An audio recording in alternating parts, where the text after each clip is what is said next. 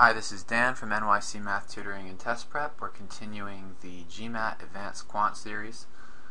Uh, the expression root 2 plus root 2 plus root 2 plus dot dot dot extends an infinite number of roots. Okay, which of the following choices most closely approximates the value of this expression? So, when I show most people the solution to this, um, they're either really impressed or they get really angry. Um, it's not a trick question. It is. Um, it just takes a little, a little stroke of insight, and um, and it, I think once you see it, you're going to say, "Oh, you know, it's obvious." Um, not not obvious, but um, not terribly surprising. So this is what I propose. We want to find out what this thing equals. So why don't we just, um, I'm, gonna, I'm not even going to write it that many times. I'll just write 2 plus root 2 plus root 2 plus dot dot dot. So we don't have to write it too many times. And let's set that thing equal to some variable we'll call x. And that's what we want to know. We want to find x. We want to approximate x. So even though we already have x by itself, let's um, do a little bit of algebraic manipulation. The left side's a square root, so we can square both sides. So the left side would then just become 2 plus square root of 2 plus square root of 2 plus dot dot dot. Right, and then the right side would become x squared because we squared both sides. Now if we subtract 2, the left side will become square root of 2 plus square root of 2 plus dot dot dot equals x squared minus 2. But now if we look at the left side, what is this?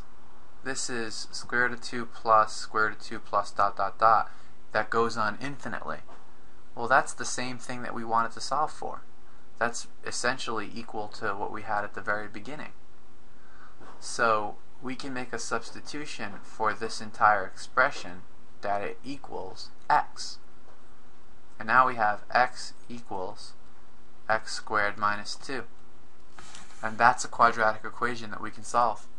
We just have to get everything over onto one side and we'll have x squared minus x minus 2 equals 0.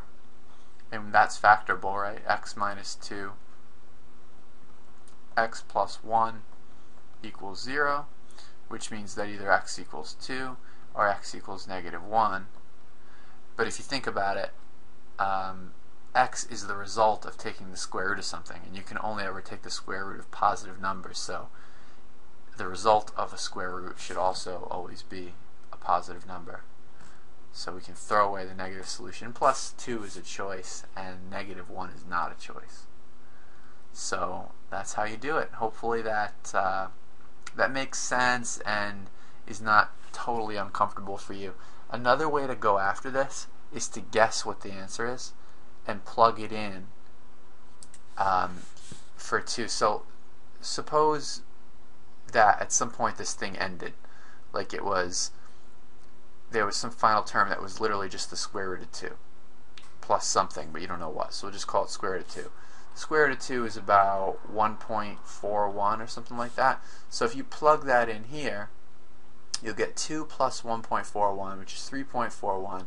You take the square root of that. That's something um, a little less than 2. It's probably like 1.6 or 1.7. Then you do 2 plus that. That's a little closer to 4 now. And then take the square root of that. That's a number a little smaller than 2, but closer to 2 than the previous result and you repeat this process and what you'll find is that as you do that more and more times the answer converges. It starts to approach 2 eventually you'd get like 1.999 so that's another way to go about this and I think if you do that you'll convince yourself that 2 is the best choice. But hopefully this algebraic solution makes some sense as well